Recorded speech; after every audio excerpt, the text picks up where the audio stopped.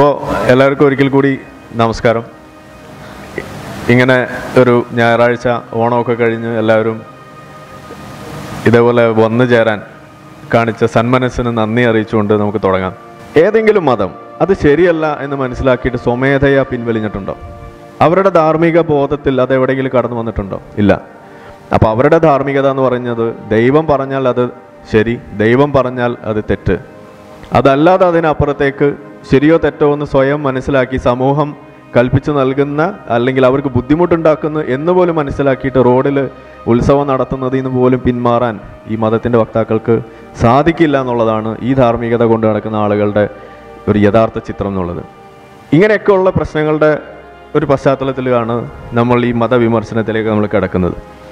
ഇവിടെ ഈ സെപ്റ്റംബർ പതിനൊന്ന് നയൻ ലെവൻ എന്ന് പറയുന്ന സംഭവം അത് മാത്രം നമ്മൾ എടുത്തിട്ട് ഈ കാര്യത്തെ നമുക്ക് കാണാൻ കഴിയും. അതിന്റെ സംഭവം ഒരു ഏകദേശ ധാരണ നിങ്ങൾക്ക് അറിയുമായിരിക്കും. എന്നാലും നാല് എയറോപ്ലെയിൻസ് ആണ് അന്ന് റാഞ്ച് ചെയ്തത് കൊമേഴ്ഷ്യൽ ഫ്ലൈറ്റ്സ് നാലെണ്ണം റാഞ്ച് ചെയ്തിൽ ആദ്യത്തേത് കൊണ്ടുപോയി വേൾഡ് ട്രേഡ് സെന്ററിന്റെ ഒരു നോർത്ത് ബ്ലോക്കിൽ ഇടിക്കുന്നു പിന്നെ സൗത്ത് ബ്ലോക്കിൽ ഇടിക്കുന്നു. അത് കഴിഞ്ഞ് പെൻഡഗണിന്റെ ഒരു വശത്ത് കൊണ്ടുപോയി ചാർത്തുന്നു. പിന്നെ ഇതെല്ലാം അറിഞ്ഞിട്ട് നാലാമത്തെ ഫ്ലൈറ്റിനകത്തുള്ള ആളുകൾ ചെറുത്തുനിന്ന് ആ ഫ്ലൈറ്റ് ക്രാഷ് ലാൻഡ് ചെയ്യുകയാണ് ചെയ്തത് ക്രാഷ് ചെയ്യുകയാണ് ചെയ്തത്. അതിലുള്ള എല്ലാ ആളുകളും മരണപ്പെട്ടു.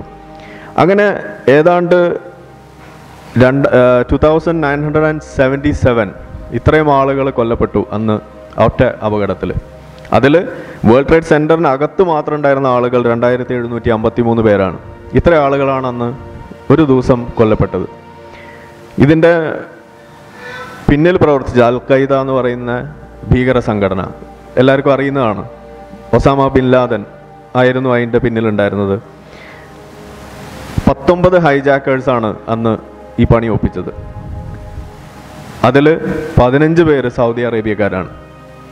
ഇതാണ് അതിന്റെ ഒരു ഏകദേശ കണക്ക് എന്ന് പറയുന്നത്. ഇതിൽ ചില ചിത്രങ്ങൾ നിങ്ങളെ മനസ്സിലേക്ക് വരും. ഒരു ദ ഫോളിങ് മാൻ എന്ന് പറഞ്ഞിട്ട് ഒരാൾ വേൾഡ് ട്രേഡ് സെന്ററിന്റെ മുകളിൽ നിന്ന് എടുത്ത് ചാടുന്നത് നിങ്ങൾ കണ്ടു കാണും. അദ്ദേഹം പിന്നീട് അറിയാൻ കഴിയുന്നത് ഇദ്ദേഹത്തിന്റെ പേര് എന്താണ് ജൊനാഥൻ ബ്രീലി എന്ന് പറഞ്ഞൊരു വ്യക്തിയാണ് അദ്ദേഹം. അദ്ദേഹത്തിന് ശ്വാസം മുട്ടായിരുന്നു. അപ്പോൾ പുക നിറഞ്ഞപ്പോൾ ഒന്നുകിൽ ശ്വാസം മുട്ടി മരിക്കുക അല്ലെങ്കിൽ താഴെ വീണ് മരിക്കും കത്തിയാൻ വരും. അതിനേക്കാളും നല്ലത് ഇതായിരിക്കുമെന്ന് കരുതിയാവണം അദ്ദേഹം ചാടി അതിന്റെ മുകൾ നിലയിൽ അദ്ദേഹം വീഴുന്ന സമയത്ത് അത് ഫോട്ടോ എടുക്കുന്നു അത് വലിയ വാർത്തകളിലും മാധ്യമങ്ങളിലൊക്കെ നിറഞ്ഞ് പ്രസിദ്ധി ആർജിച്ചൊരു ചിത്രമാണ്. നിങ്ങളൊക്കെ കണ്ടു കാണും. ദ ഫോളിങ് മാൻ എന്നാണ് അതിന് ആ പേര് തന്നെ ഇട്ടിരിക്കുന്നത്. ഇങ്ങനെയൊക്കെയുള്ള സംഭവ വികാസങ്ങൾ ഒരുപാട് ആളുകൾ മരണപ്പെടുന്നു പലവിധം വിഷയങ്ങൾ. പത്തൊമ്പത് പേരാണ് ഈ പ്രശ്നത്തിന്റെ പിന്നിൽ പ്രവർത്തിച്ചതെന്ന് നമ്മൾ പറഞ്ഞു. പതിനഞ്ച് പേര് സൗദികളാണെന്ന് പറഞ്ഞു. ഇതിൽ പ്രധാനികളായിട്ട് നിന്നത് രണ്ട് വ്യക്തികളാണ് ഈ രണ്ടാളുകൾ ഇതിൽ ഒരാളെ നിങ്ങൾക്ക് അറിയാം ചിത്രം കൊണ്ട് തന്നെ. മാസ്റ്റർ മൈൻഡ്സ് എന്ന് നമുക്ക് വിളിക്കാം. ഒന്ന് ഒസാമ ബിൻ ലാദൻ. രണ്ടാമത്തെ ആൾ ഒരു മുഹമ്മദ് ആറ്റ എന്ന് പറയുന്ന ഒരു ഈജിപ്ഷ്യൻ മിലിറ്റനാണ് ഇദ്ദേഹമാണ് ഈ ഹൈജാക്കിങ്ങിന് നേതൃത്വം കൊടുത്തത്. ഒരു ആദ്യം കൊണ്ടുപോയി ഇടിച്ച ഫ്ലൈറ്റ് ഇദ്ദേഹമായിരുന്നു നിയന്ത്രിച്ചിരുന്നത് വേൾഡ് ട്രേഡ് സെന്ററിൽ ഇദ്ദേഹമാണ് അത് കൊണ്ടുപോയി ഇടിപ്പിക്കുന്നതും ഇതിന്റെ കംപ്ലീറ്റ് സൂത്രധാരൻ ഇദ്ദേഹമായിരുന്നു.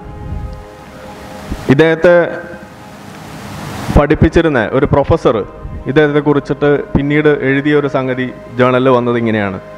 അതിൽ നിങ്ങൾക്ക് കാണാം. രണ്ട് ആയിരത്തി തൊള്ളായിരത്തി തൊണ്ണൂറ്റി ഒമ്പതിൽ ജർമ്മനിയിൽ ഈ പറയുന്ന വ്യക്തി അവിടെ പഠിച്ചുകൊണ്ടിരിക്കുകയായിരുന്നു. അവിടെ സമയ പഠിക്കുന്ന സമയത്ത് ഒരു തീസിസ് എഴുതി. അർബൻ ഡെവലപ്മെന്റ് ഇൻ സിറിയ എന്ന് പറയുന്ന ഒരു ഒരു തീസിസ് പ്രസന്റ് ചെയ്തു.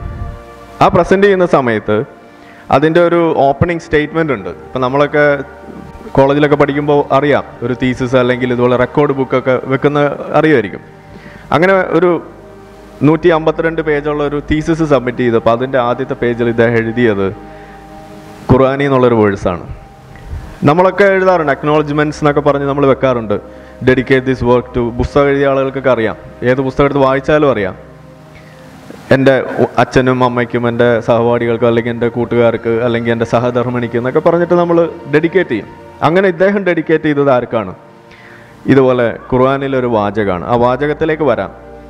അപ്പം അന്ന് അത് എഴുതിയപ്പോൾ ഇവരതിനെ നിരീക്ഷിക്കുന്നത് അന്ന് തന്നെ ഇയാളിലുള്ള ആ ഒരു റാഡിക്കലൈസേഷൻ മണത്ത് തുടങ്ങിയിരുന്നു എന്നുള്ളതാണ് പിന്നീട് മനസ്സിലാക്കാൻ കഴിയുന്നത്. ഒരു വ്യക്തി എങ്ങനെയാണ് മത ആശയം തലയിലേക്ക് കയറി കഴിയുമ്പോൾ അതിൽ ഇങ്ങനെ ജീവിച്ച് അത് മാത്രം തലയിൽ കൊണ്ട് നടന്ന് അത് എല്ലാ സ്ഥലത്തും പ്രകടിപ്പിക്കുന്ന ഒരു പ്രകടന പരത പോലും അതിലേക്ക് വരുന്നതൊക്കെ എങ്ങനെയെന്നുള്ളത് പിന്നീട് നമുക്ക് കാണാൻ കഴിയാണ്. അദ്ദേഹം ഒന്ന് എഴുതിയ ഖുറാനിക സൂക്തം ഇതാണ്. ഇന്ന സ്വലാത്തി വനുസുക്കി വമഹിയ വമാത്തി ലില്ലാഹി റബ്ബിൽ ആലമീൻ. തീർച്ചയായും എന്റെ പ്രാർത്ഥനയും എന്റെ ആരാധനാ കർമ്മങ്ങളും എന്റെ ജീവിതവും എന്റെ മരണവും ലോകരക്ഷിതാവായ അള്ളാഹുവിനുള്ളതാകുന്നു. ഇതാണ് അദ്ദേഹം എഴുതിയത്. ഖുറാനിലെ ആറാമത്തെ അധ്യായം നൂറ്റി അറുപത്തി രണ്ടാമത്തെ സൂക്തമാണ്. ഖുറാനിലുള്ള ഒരു വാചകമാണ്. ഇത് നമ്മൾ നിസ്കാരത്തിലൊക്കെ എപ്പോഴും ചൊല്ലുന്നതുമാണ് ഈ വിശ്വാസികൾ ഇത് മുഹമ്മദ് അത്ത മാത്രമല്ല തന്റെ കിതാബിൽ എഴുതിയത്. വേറെയും ചില പ്രമുഖരായിട്ടുള്ള വ്യക്തികളൊക്കെ എഴുതിയിട്ടുണ്ട്. അവരെ നിങ്ങൾക്ക് ചിലപ്പോൾ ചിത്രം കണ്ടാൽ മനസ്സിലാവും. ഇതിലൊരു വ്യക്തിയാണ് അത് എഴുതിയിട്ടുണ്ട്. ഞാൻ കോളേജിൽ പഠിക്കുന്ന സമയത്ത് ഫസ്റ്റ് ഇയറിൽ ഞാൻ പറഞ്ഞു ഈ അപകടം നടക്കുന്ന സമയത്ത് ഞാൻ പ്ലസ് വണ്ണിന് പ്ലസ് ടു പ്ലസ് വണ്ണിന് പഠിക്കുകയാണ്. അത് കഴിഞ്ഞ് കോളേജിലെത്തി. ഫസ്റ്റ് ഇയറിൽ കോളേജിൽ സബ്മിറ്റ് ചെയ്യുന്ന ഒരു റെക്കോർഡ് ബുക്ക് വന്ന സമയത്ത് അതിന്റെ മുകളിൽ ഞാൻ എഴുതിയതും ഇതേ സാധനം തന്നെയായിരുന്നു. എത്രമാത്രം നമുക്ക് ഇത് നമ്മളെ സ്വാധീനിച്ചു എന്നുള്ളത്. അതായത് അന്ന് നമ്മളെ മനസ്സിൽ എന്താണ്? അമേരിക്ക സാമ്രാജ്യത്തെ ഭീകര സത്വം അല്ലേ? അങ്ങനെയുള്ള ഒരു ഭീകര സത്വത്തിന് കൊടുത്ത പ്രഹരമായിരുന്നു ഈ വേൾഡ് ട്രേഡ് സെന്റർ ആക്രമണം. അതിന് നേതൃത്വം കൊടുത്തത് മഹാനായ അൽഖ്വയ്ദ നേതാവ് ഒസാമ ബിൻ ലാദനാണ്. അതിന്റെ മുന്നിൽ പ്രവർത്തിച്ചത് മുഹമ്മദ് അത്തയാണ്. മുഹമ്മദ് അത്ത എന്ന് പറയുന്ന ആൾ തികഞ്ഞ വിശ്വാസിയാണ്. തന്റെ ഓരോ ചുവടിലും മതത്തിന്റെ അധ്യാപനങ്ങൾക്കനുസരിച്ച് ജീവിച്ചിരുന്ന വ്യക്തിയാണ്. നമ്മളൊക്കെ ആവാൻ ആഗ്രഹിക്കുന്ന ഒരാളാണ്. ശരിക്കും മുഹമ്മദ് ആറ്റ ഇതായിരുന്നു അന്ന് എന്റെയൊക്കെ മനസ്സിലുണ്ടായിരുന്നത്. നമ്മുടെയൊക്കെ ഒരു ഹീറോ ആയിരുന്നു സത്യത്തിൽ മുഹമ്മദ് ആറ്റ പക്ഷേ അതിൽ ഒരാൾ പൊട്ടിത്തെറിച്ചു. ഇന്നിപ്പോൾ ഒരാൾ ഇതേപോലെ ഇസ്ലാമിനെ പൊട്ടിത്തെറിപ്പിക്കാൻ വേണ്ടി നിൽക്കുകയാണ്. ഇതാണിപ്പോൾ കാലം കൊണ്ടുവന്ന മാറ്റം എന്ന് പറയുന്നത് അതാണ്. അതിലേക്ക് വഴി വെച്ചത് എന്ത്? ഇതുപോലെയുള്ള കൂടിച്ചേരലുകളും ഇന്റർനെറ്റ് തന്നെയാണെന്ന് പ്രധാനമായിട്ട് പറയും. അതാണ് നമ്മളെപ്പോഴും പറയാറുള്ളത്. ഇന്റർനെറ്റ് നമുക്ക് ഇസ്ലാമിന് അന്ത്യം കൊണ്ടുവരാൻ പോകുന്ന ഒരു പ്രധാനപ്പെട്ട ഒരു സങ്കേതമായിരിക്കും ഈ ഇന്റർനെറ്റ് എന്ന് നമ്മൾ പറയുന്നതും അതുകൊണ്ട് തന്നെയാണ്. വിവരങ്ങൾ അറിയാനും ഇതിന്റെ യാഥാർത്ഥ്യത്തെക്കുറിച്ച് കൂടുതൽ ബോധമുണ്ടാവാനും ഒക്കെയുള്ള സാധ്യതകൾ വർദ്ധിച്ചു. അതുകൊണ്ട് മാത്രമാണ് നമ്മളൊക്കെ ഇന്ന് പൊട്ടിത്തെറിക്കാതെ ഇങ്ങനെ നിൽക്കുന്നത് എന്ന് വേണമെങ്കിൽ പറയാം.